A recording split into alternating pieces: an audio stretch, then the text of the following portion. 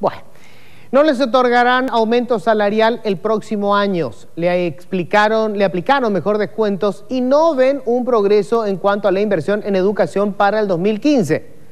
Por estos motivos, los docentes protestaron llevándole una serenata a la ministra de Educación. 20 coña descuento, rey coreña en a lo menos en. 20 coña descuento, rey coreña en botabe.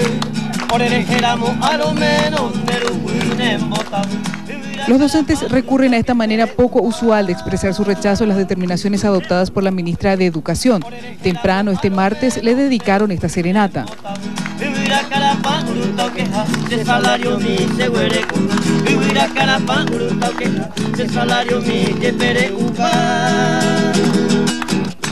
Luego los docentes instalaron una carpa frente al Congreso Nacional para debatir sobre las necesidades reales en educación. Nuestra lucha se debe a un mayor presupuesto de educación.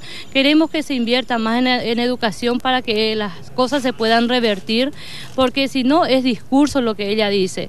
Ahora solamente eh, ha aumentado 0,2% del Producto Interno Bruto y con eso, ¿qué es lo que se puede mejorar? En la misma cantidad de aquí escolar, merienda escolar, eh, no se va a pagar beneficio para el próximo año.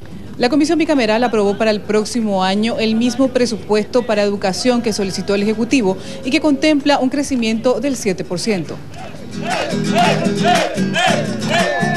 ¡Dale cuento! Veinte coña de cuento, ore y coreña en botabe.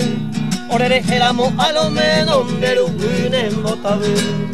Veinte coña de cuento, ore y coreña en botabe.